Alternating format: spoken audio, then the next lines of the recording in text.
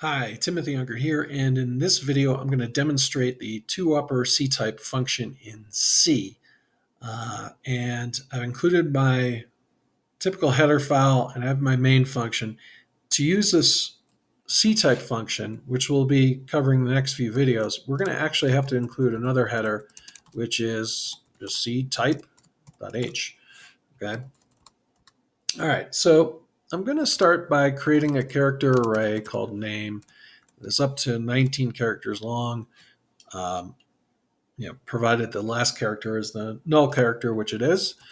And then we're going to do a printf statement saying something like enter the name of your favorite character on Supernatural. Put a semi or a colon and a space, and then we're going to scanf. Uh, we're scanning a character array. So we'll use a percentage S and then uh, outside the quotes comma and the name of the array. Uh, I'm going to create an integer i that I'm going to use for a while loop. And before I run the while loop, I'll do something. I'll print f your favorite character on Supernatural is, and then a space, and quotes, and the closing parentheses, and a semicolon. And then we'll start our while loop. So I'll say while name at index i, while that character does not equal the null character. Uh, what we're going to do is we're going to do a printf, and we'll print the character uh, but we're going to pass it into the C-type function, which is toupper. And so inside of that, I'm going to pass in the character at index i in the uh, character array name.